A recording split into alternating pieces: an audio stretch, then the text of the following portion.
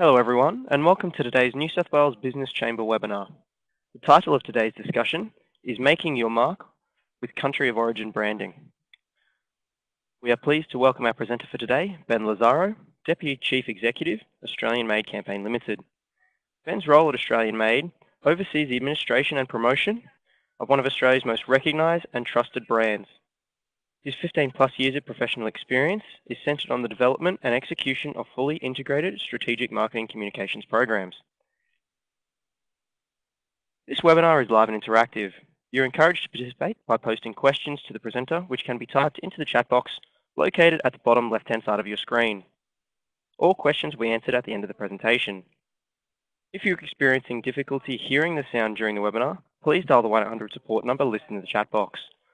I'd now like to pass you over to Ben to begin. Thanks very much, Jeff, and welcome everyone. Uh, thank you for coming today and uh, attending this webinar and finding out a little bit more, a little bit more about country of origin branding and specifically uh, the famous Australian-made Australian-grown logo. Just a little bit of overview about the logo itself. As it says there, we're a registered uh, certification trademark. Um, which means it's underpinned by a set of rules that a set of criteria must be met for products to carry it, but we'll talk, we'll talk a little bit more about that later. Um, it's Australia's most trusted and recognised and importantly widely used country of origin symbol. Many of you have obviously seen it uh, when you're shopping.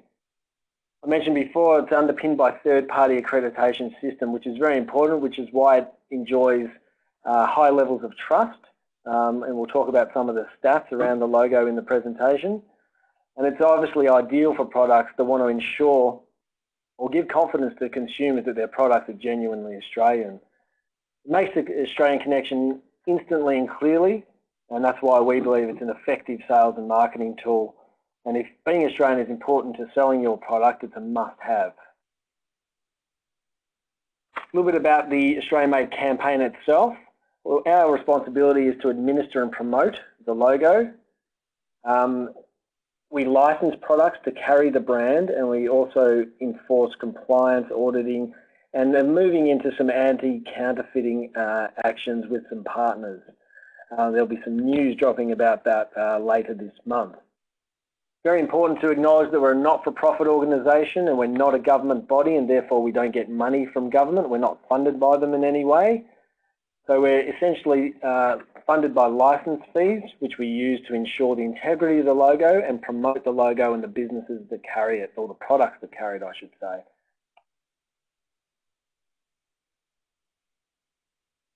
Our board is elected by our 11 govern, governing members, and, and that's the Australian Chamber of Commerce and Industry, along with the individual state and territory chambers, which is why we're here today working alongside the NSWBC and importantly, we've got the National Farmers Federation as well linked into the organisation. So we've got really strong representation uh, across the business and agricultural communities. Very brief history there, you'll see the evolution all the way back to the 1930s. The green and gold kangaroo, though, was uh, an invention uh, of the government in 1986. It's gone through a number of different machinations uh, before in 1999 the Australian Made campaign was established and we've been administering the logo ever since. As I said, uh, funded by licence fees, not funded by government. A bit about country of origin certification. Carrying the logo makes a clear statement to consumers and those consumers may be individuals, they may be business, they may be government. It makes the statement that the product was produced in Australia and it's important to make that differentiation in the marketplace, particularly for those of you who are in um, business areas or sectors where being Australian is an advantage. So the logo goes a long way to conveying that message, not only here but overseas as well. Hopefully you've seen a lot of advertising or promotion of the logo, whether it's in uh, supermarkets or hardware stores or at airports or billboards. Um, we, we promote a Buy Australian message and also uh, involved in education so the consumers understand that when they see that logo, all the thinking is being done for them, that the product that's carrying it is indeed a genuine Australian one uh, because it's been third party certified.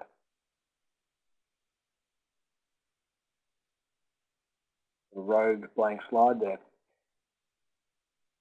So There we go. So what's next? You might have seen uh, the new country of origin food labelling legislation that's making its way into stores. It's uh, compulsory for nearly all food products uh, sold domestically to carry this new information panel. And as you can see from the slides there, that information panel includes the famous green and gold kangaroo, a percentage uh, Australian ingredients bar chart, as well as a statement uh, that describes the above two elements. So this is a government um, initiative, one that we endorse. So we don't administer uh, this part of the program at, the moment, but we certainly support it as it's giving consumers more information about the products that they're they're carrying, uh, the products that they're buying.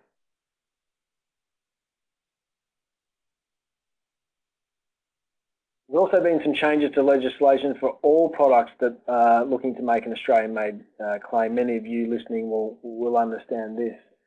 There's been changes to the criteria for making uh, the Made in Australia claim. Only one test must be met now, and that's has the product been grown, produced or manufactured, and not just packaged or assembled in Australia. And the key here is substantial transformation. Has that product been substantially transformed uh, in Australia? We'll talk about that because it's a, it's a subjective um, uh, interpretation, I guess. You'll see here goods are substantially transformed uh, if they were grown or produced in the country. That's an easy one. This is where it gets uh, can get subjective. Uh, if as a result of processing in that country, the goods are fundamentally different in identity, nature and essential character, they're the three core elements from all their imported ingredients. you've got to demonstrate that the final product is indeed different in identity, nature or essential character from its imported components. And uh, the example that um, is often being used is if you import fish oil uh, encapsulated here in Australia, uh, that no longer complies to make a Made in Australia claim. And there's been some recent changes to the ACCC's interpretation of that specific example and um, we're about to um, launch our policy position on that in, in the coming weeks to provide more clarity some of those businesses that are looking to make a Made in Australia claim within the complementary health sector. Um, if we if we see how that uh, affects the Australian made uh, claim with respect to the Australian made logo, this organisation uh, has a policy of falling in in line or uh, uh, falling in line with the ACCC's interpretation of these kinds of things. Um, there have been times where we've uh, required products to meet additional criteria. Uh, we will never uh, be in a position where we fall beneath what the ACCC requires. So we'll, we'll change our code of practice accordingly to ensure that consumers, which is what it comes down to, have um, some confidence that they're buying genuine Australian products. About again the the company itself, we've got uh, over 2,700 companies that uh, currently have products licensed to carry the logo, and as you can see, it's a good news story. The line heading in the right direction there. These are some of the, the really important stats around the logo itself. 99% of Australians uh, recognise the Australian-made logo, so they know what it is. We're all familiar with it. And probably the more important stat is 86% trust the logo as a confirmation of country of origin. So really pleasing statistics.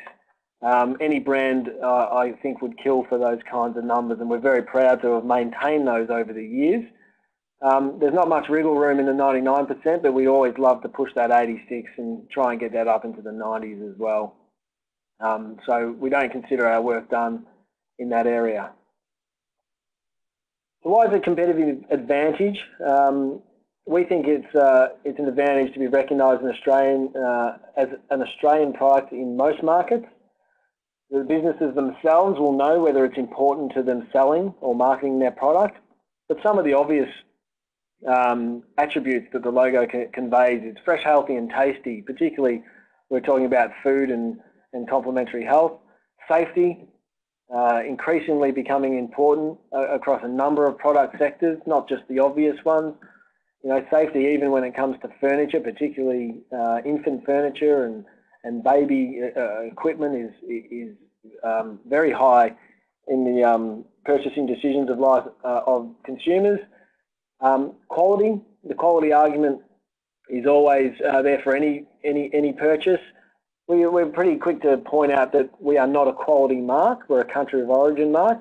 However, quality is, is implied uh, not only with Aussie products, but products that carry our logo. And we're actually in the process of um, doing some research with one of the universities here to, to understand some of those other attributes that the, the logo conveys. So hopefully we'll be able to bring you that information at, at a later date. And of course value, it represents good value for money. If you're getting all these wonderful attributes uh, that a product has and you're paying a reasonable amount for it, then it's a value argument. We also acknowledge that Australia is a very high cost country, so it's a challenge, and I don't have to tell some of the businesses listening here that, that it's challenging uh, for some Aussie businesses given the amount of um, often cheaper imports that come into this country. So we think if your product's Australian that you've really got to leverage that and highlight that uh, when you sell your product. Obviously there are other criteria that consumers are going through when they decide to buy or not buy your product. but we think putting your Australian-made status up front uh, is going to address that element uh, very directly and effectively. Um, so being genuinely Australian, we think is a very powerful marketing and selling tool. We've got some stats to back that up. We do. We partner with our with Roy Morgan Research. We uh, obviously do the right thing, have a third party conduct all our research. Um, and overwhelmingly, Australians are more likely to buy Australian-made products than products from other countries. You'll see there 71% prefers to buy Australian-made, so that's an intent. So we always take that with a grain of salt. That's what they want to do. So there's a range of things that uh, businesses can do to um, leverage that intent um, to make, make that translate into an actual purchase. We understand there's work to be done from that 71% to then drive as many of those into an actual purchase. 75% of small business owners have a preference for Australian-made products, and that really makes sense to us. Uh, no one feels the brunt of, um, I guess, uh, purchasing choice than small business. Um, they can get a big order or miss a big order, and that can uh, affect their bottom line um, drastically. And again, possibly not surprising, 89% of farm owners have a preference for buying Australian-made products. And that extends to similar figures in the regions where there's a bit more understanding of the impact of the purchasing decision on local communities and, and so on. And then we've broken down by sector here. You'll see how likely are consumers to give preference to Australian-made products when shopping. Again, overwhelmingly more than half, no matter what sector we're looking at here, have a, have a preference for an Aussie product. And again, the challenge is then to get that preference translating into a purchase and by at least, at the very least, telling them that your product is Australian and then again having it third party certified goes some way to helping translate that intent into a purchase. So if being Australian is important to your brand, um, what's the most effective way to convey this to consumers and businesses, and importantly, all levels of government. Um, obviously, our view is green and gold kangaroo, the Australian-made logo, by far the most effective. Can be confusing for consumers and business out there. There's a whole bunch of um, uh, pretender logos, is what we'll call them. And, and these are these are ones that companies generate themselves or other organisations seek to position themselves as experts in, the, in these fields. That just makes it confusing for consumers, particularly when they're so used to seeing the Aussie-made logo, which turns 32, I think. Well, yeah, 32 this year. So it's been around, got a ton of market capital behind it, and um, uh, a point about selling overseas too, depending on the country, particularly in Asia, the map of Australia, we can tell you, is very uh, is not well recognised at all. Um, so going with the map can be a little bit problematic, particularly if you're an exporter. We did a little bit of a test on this uh, on a generic uh, unbranded uh, food product and we asked which of these labels provide you with confidence that the product is genuinely of Australian origin. Again, that, that word genuine coming into it. And we're very pleased with the results. As you can see there, the Australian-made logo streets ahead of uh, the other uh, options that were were put to the um, those uh, the Roy Morgan Research um, surveyed. So again, overwhelmingly, the logo performs or outperforms its competitors. That's something we're very proud of and something that we, we seek to maintain.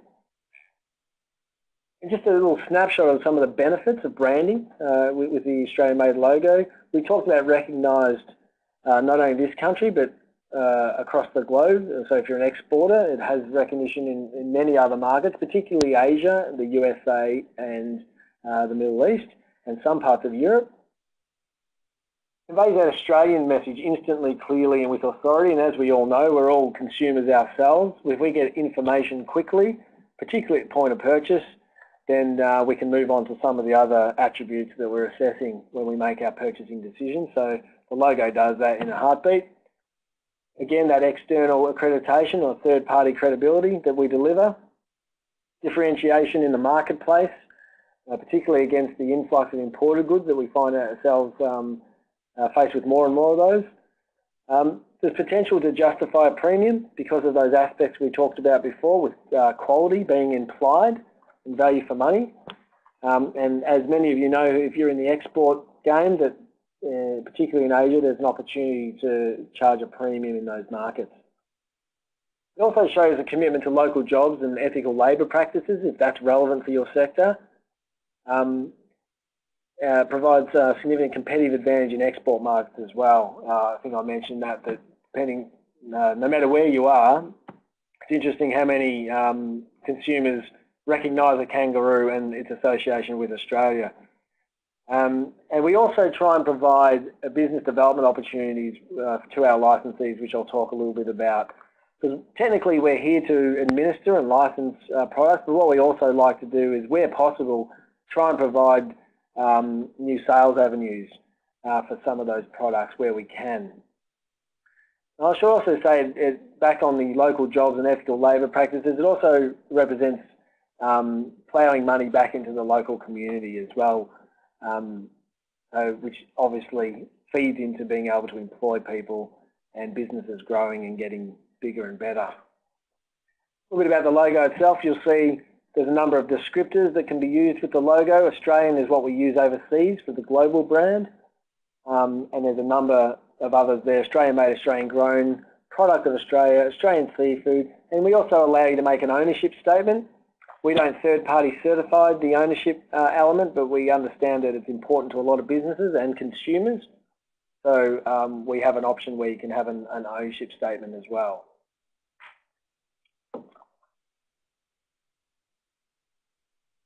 We're also pretty flexible over here. We do something pretty remarkable for all the marketing people that we um, engage with are often at first surprised, but then come to understand why we allow our colours to be changed. And this is obviously so that you can adopt the logo to suit your own branding um, or marketing initiatives. Uh, we want to provide flexibility because it's the kangaroo that's the noticeable element.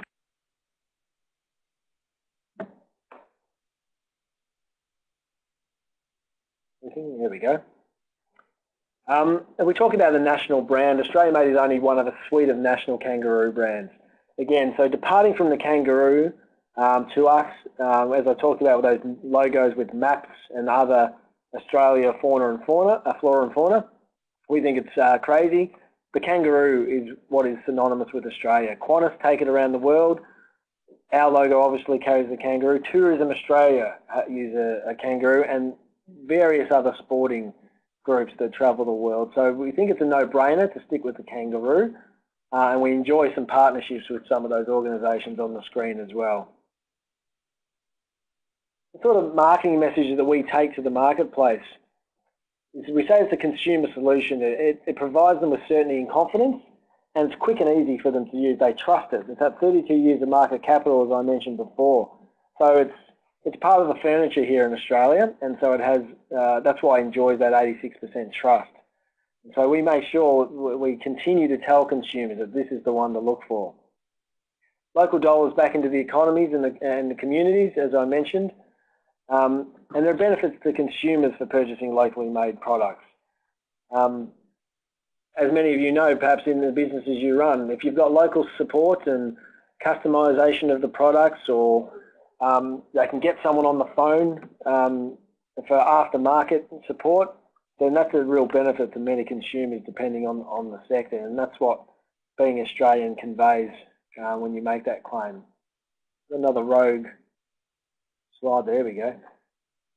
Um, I mentioned before we're supported by the business community and there, there's a bit more detail about who I'm talking about with that Australian Chamber of Commerce and Industry at the uh, national level with the state-based chambers as well and the National Farmers Federation.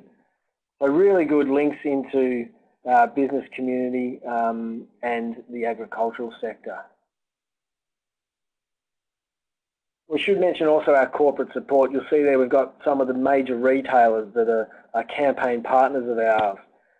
The, the, the supermarkets, uh, a lot of the furniture retailers, um, Qantas, as I mentioned before, Wrays is our uh, IP specialist legal firm.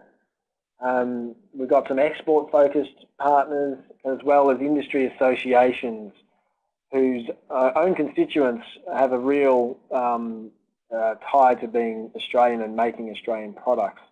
So those industry associations see real benefit in demonstrating their support for their own members. We also have local government uh, you know, involvement as well. So for the similar reasons, some of those local governments want to demonstrate to their, the, their businesses um, or the businesses in their area that they support local manufacturing and local growing um, because they understand that they're a key part of the communities that um, they oversee.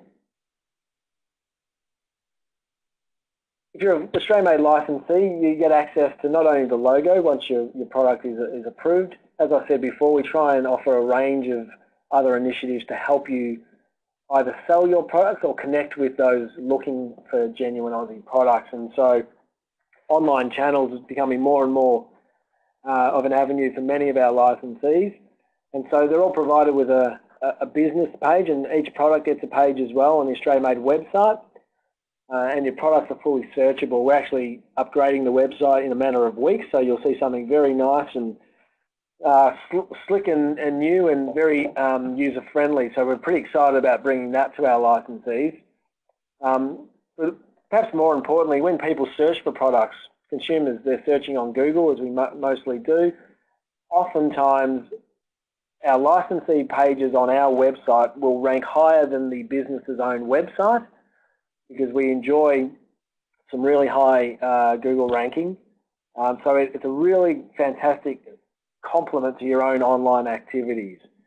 Um, it's not, some small businesses use the pages on our site as their own de facto websites. We're not suggesting that is for everyone. However, it will complement your own online uh, activities, which is what we're here to do. We're here to drive more eyeballs to your products. And that's where our digital audience that we've actively grown over the last few years. Um, you'll see that we've got over 300,000 on Facebook, uh, 12,000 on Twitter, 9,000 on Instagram. LinkedIn, we've, we've got a 350. And importantly, over there on the right-hand side, we've got 35,000 in our Aussie-made club. So they're consumers that have opted in to hear about the new products, the competitions, and news about Australian-made and the businesses and products that carry the logo. So this is a huge audience that our licensees have access to. And we don't monetize that. We don't charge for access to that. We have a schedule, of course, but that if you're an Australian-made licensee, you can access that group of people that we've aggregated for you. So these are people that have already got an interest in buying Australian. So they're, I guess, a more refined uh, group of uh, consumers that we've uh, amassed that have a predisposed um, preference for Australian. We also generate marketing opportunities uh, with uh, other organisations to give our licensees preferential rates uh, or exclusive access. So you'll see uh, Australia Day features that we run, um, access to trade shows and events, and um, they can be here and overseas. Uh, we've done uh, in both locations over over recent years, and we understand Asia is becoming more of more interest to many licensees. So our focus uh, is often in China. We also uh, uh partner with uh, the Buchanan Group, and they're the group that run the Brand Power um, television commercials, but we've developed an Australian-made version of, of these commercial, commercials along with brand power for those these are for the licensees that are in the business of doing TV advertising. We understand that's not for everyone, so we have we have entry level um, marketing opportunities for smaller businesses. But those that are interested in, in TV, then they can access the Australian-made uh, media channels, and we can feel do feel free to get in touch if that's something that's of interest.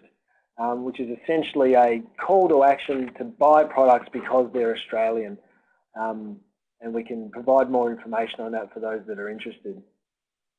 We've also, um, over the journey, had uh, Australian-made logo branded stores in Sydney, Melbourne, Perth, Adelaide and Cairns airports. There's some redevelopment going on in Sydney and Melbourne at the moment, so those ones are, uh, are not active. Uh, Perth is gone. Um, so at the moment we've got Adelaide and two in Cairns, um, and watch this space in Sydney and Melbourne. But again, a wonderful way to uh, access that tourist um, demographic that are particularly uh, on the hunt for souvenirs uh, and genuine Aussie products. So to be in these stores, you have to be a licensee of the Australian Made campaign.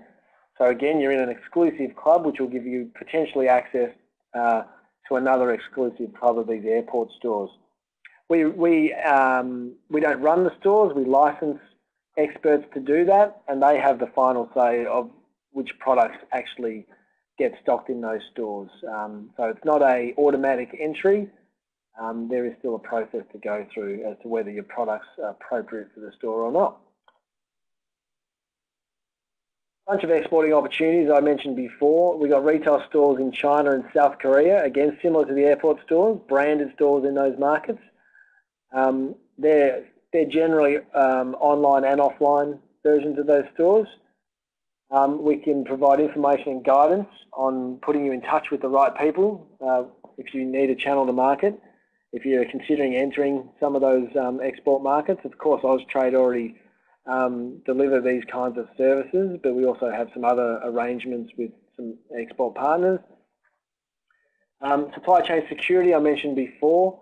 We're going to launch uh, some uh, some exciting developments there where we're going to um, hopefully help licensees add another level of security, um, particularly when it comes to securing your supply chain and product counterfeiting.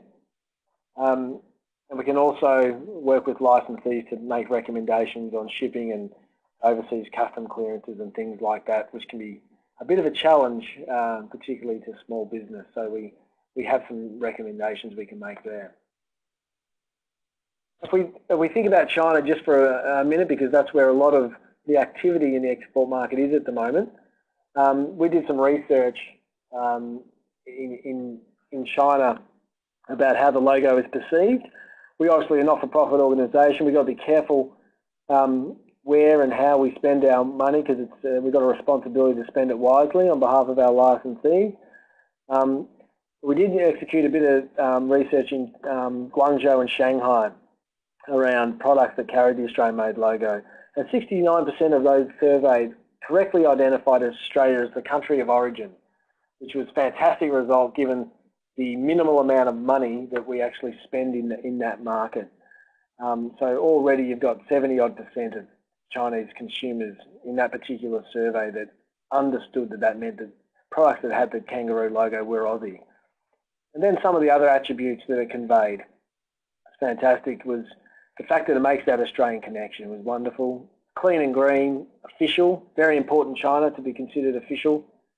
Um, fresh, uh, environmentally friendly, easy, easy to understand. Again, um, that's what you want a logo to, to do. You want it to be readily, readily understood. If you have to explain the logo, the logo is not doing the job. And again, in China, the, I guess, or in parts of Asia, the fact that it's a pleasing image uh, carries some weight as well. So really, um, we were really impressed with that research, which actually was, I should explain, uh, focus groups and intercept surveys in shopping environments. Um, so again, very pleasing results there if you're looking to go to China. And even more pleasing that uh, the products are more appealing to consumers when they carry the logo. So in those sectors, um, they, the respondents uh, indicated that the products would be even more appealing should they carry the Australian-made logo. Now, internally, we're not surprised by this, but hopefully this is uh, useful information um, for those that are looking to become licensees or that are already licensed to carry the logo.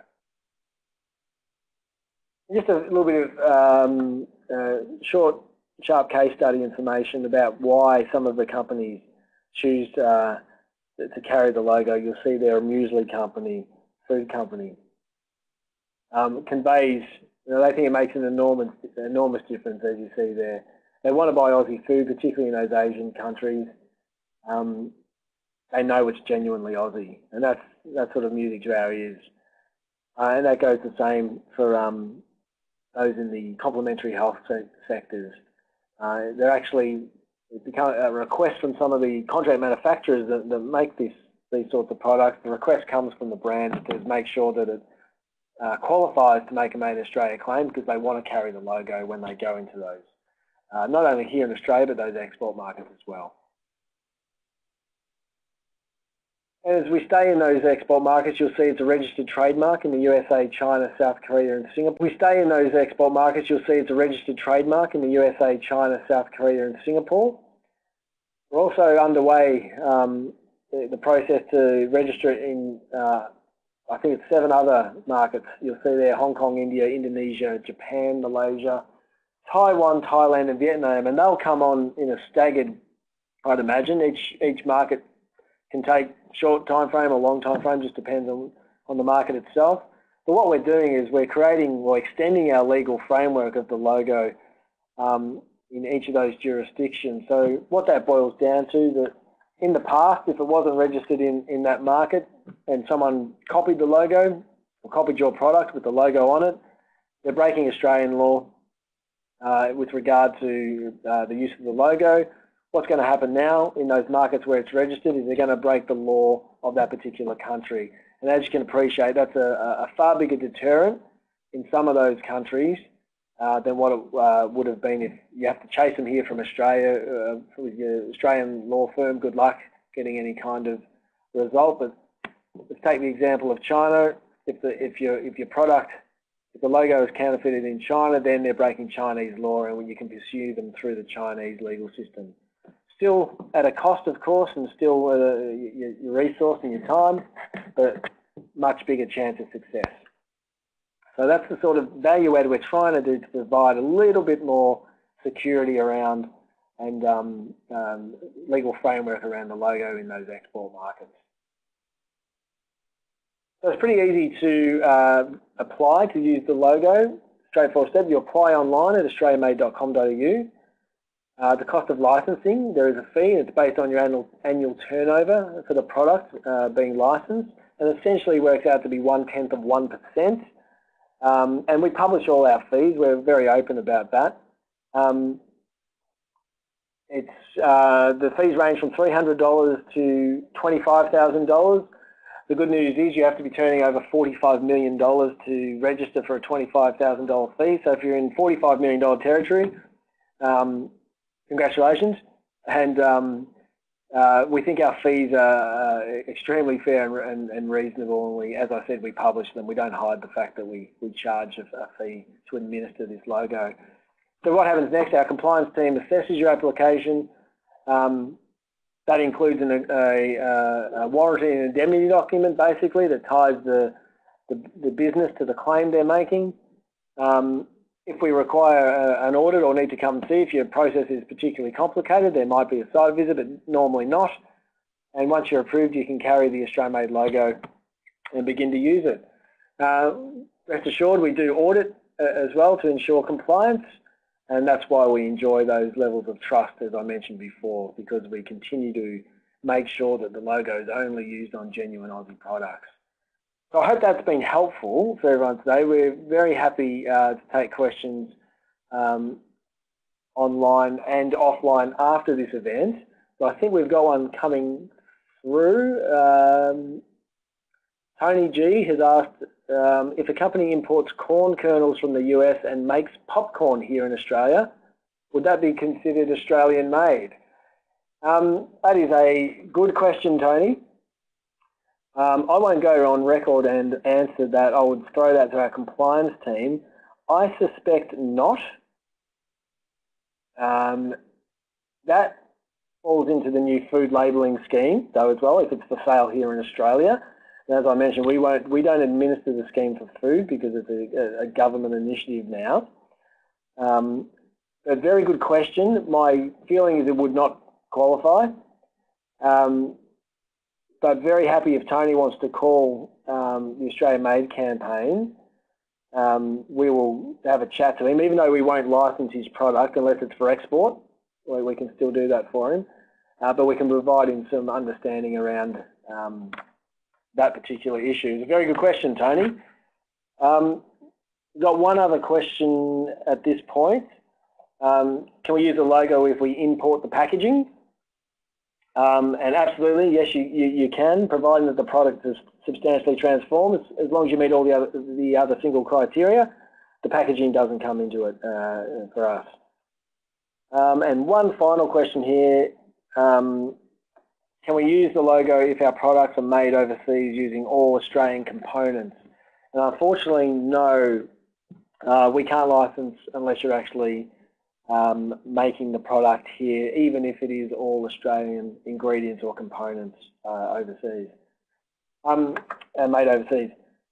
So thanks again for everyone who uh, attended today. Again, very happy to take additional questions uh, offline, so feel free to uh, call in on 1800 520 350, I say with some hesitation.